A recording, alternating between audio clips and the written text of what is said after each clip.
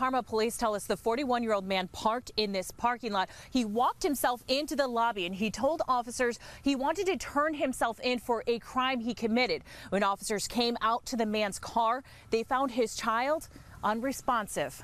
That 45 year old woman has burns all over her body. She is in critical condition.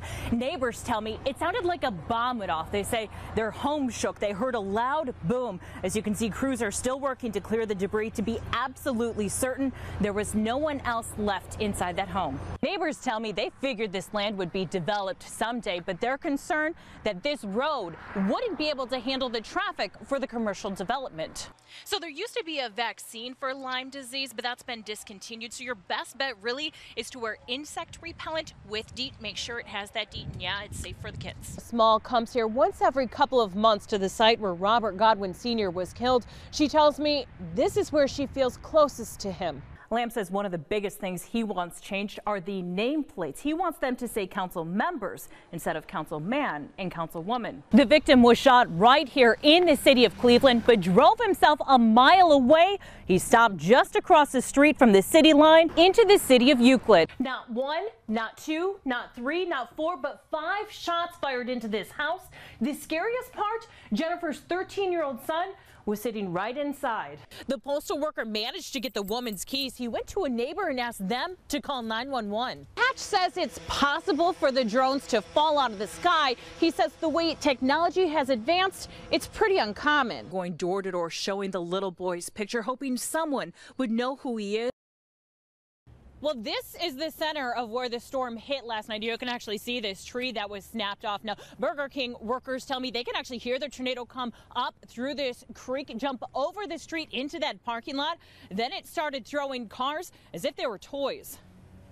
Watch closely to the top left of your screen. There are two cars, both white, that will get swept up and spiraled by an EF1 tornado. The car on the left skids, slides, and is slammed onto its roof. The car on the right rolls, but lands back on its tires. My poor coworker was outside and she was like, I was holding on to the wall. You can see the whirling of the tornado whip through the parking lot. All of a sudden, like there was just like all of our windows and doors blew open and the lights started flickering and then everything just shut down. Inside the Burger King, they took cover. It pretty much like went through the drive-through. Here's another view. The light on the ceiling starts falling off and carts start blowing through the parking lot. There's a flash of light. Then you can see people start running through the parking lot. Watch this small child and their parent running for cover inside the grocery store. It lasted for like 30 to 45 seconds.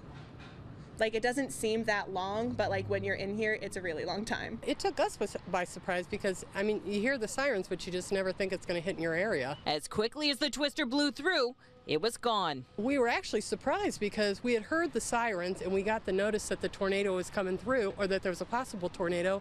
And then when we drove through, we were kind of surprised that it actually had touched down right here. Yeah, so the good news, even with the 90 mile per hour winds and carts blowing around, no one was hurt. Of course, they spent the day cleaning up today. There was some damage to the roof here at the Burger King. There's some siding missing, but they tell me, you know, as long as no one was hurt, everything is okay. Reporting live, Lacey Crisp, Cleveland 19 News. Most of us aren't working on our Halloween decorations in April, but then again, most of us aren't the Meyer family from Parma. They celebrate their favorite holiday the biggest way they know how. If you drive up and down Luelda Avenue in Parma, it's crazy. It's stop and go traffic at times. It was on Google. We were on we're, Pleasant Valley, and now we're, we're yeah, Googling.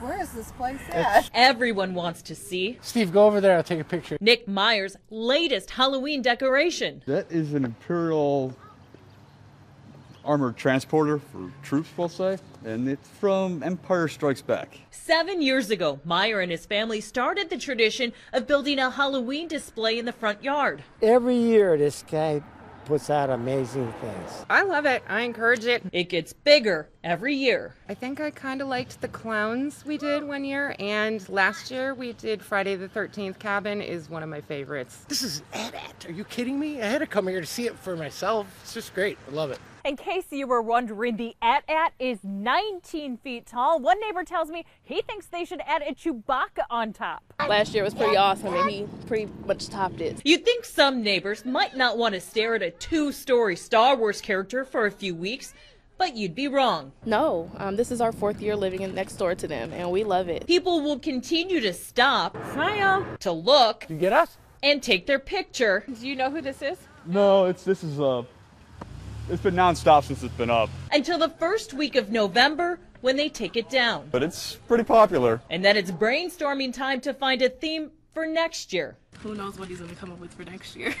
The Meyers always have a big party for Halloween. You can tell it's their favorite holiday. They tell me they're going to put out a suggestion box for their creation for next year.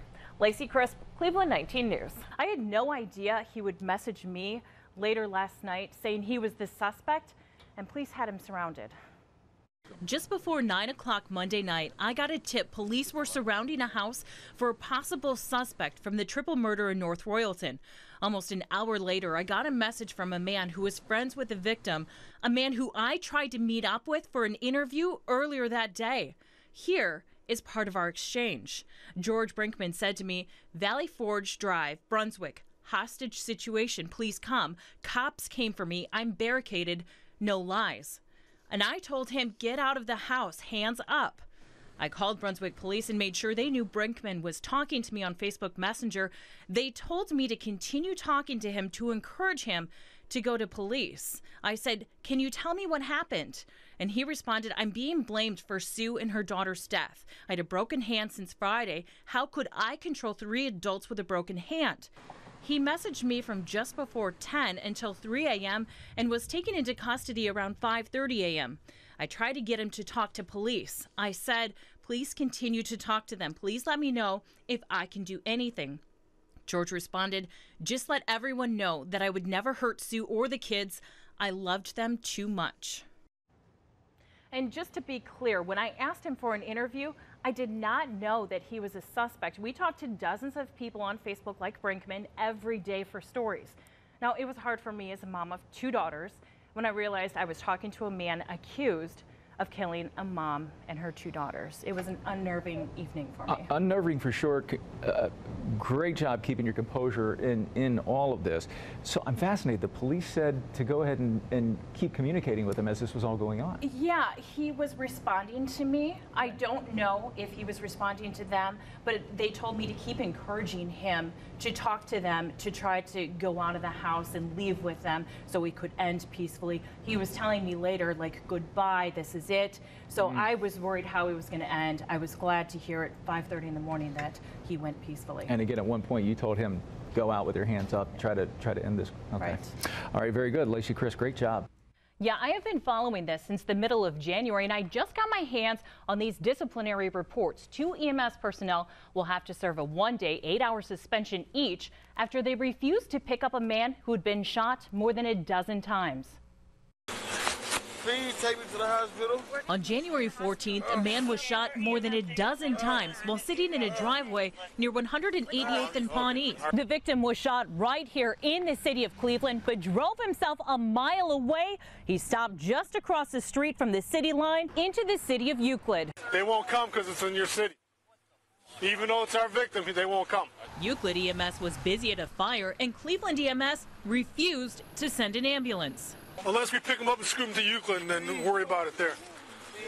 I mean, he Yeah. needs to go to the hospital. Police officers on scene decided the man needed help right away, and they drove him to the hospital in their police car. According to public documents from a personnel hearing, emergency medical dispatcher Myling Lamb asked Sergeant Jewel Smith at the time, We don't go to Euclid, right? Sergeant Smith responded, No. According to the Emergency Medical Service General Order, the Division of Emergency Medical Service will dispatch an ambulance if an ambulance is available and if the total response time is 15 minutes or less. We went to EMS headquarters to get answers. This is all going through the press office, so contact Dan Williams at the press office and he can answer all your questions. The city's director of media relations, Dan Williams, sent me an email saying, as the people involved will have an opportunity to file a grievance, we will not be interviewing on this topic at this time. For now, both the dispatcher and sergeant have been suspended for a one day or eight hour shift. And I spoke with the victim's girlfriend today. She's upset and tells me she thinks they should serve longer suspensions. She says she hates to think what could have happened if police had waited for EMS to arrive. Getting answers, Lacey Crisp, Cleveland 19 News.